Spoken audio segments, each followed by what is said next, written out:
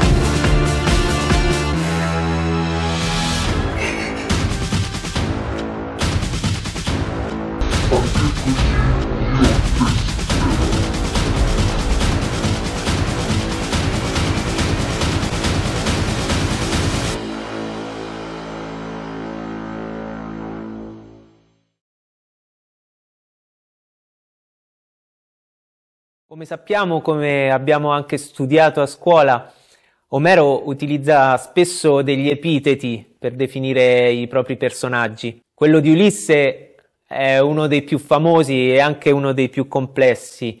Viene definito multiforme. È ricco di astuzia e di conoscenza perché ha vagato e ha conosciuto cose che gli altri mortali non hanno mai visto, ai quali sono quasi proibite. È un personaggio dalle mille facce. La mia Odissea dunque sarà una Odissea ambientata in un luogo familiare a tutti, un aeroporto, un luogo da cui si parte per raggiungere qualsiasi meta, ma anche un luogo che ci può bloccare, che ci può trattenere, magari per volontà degli dei.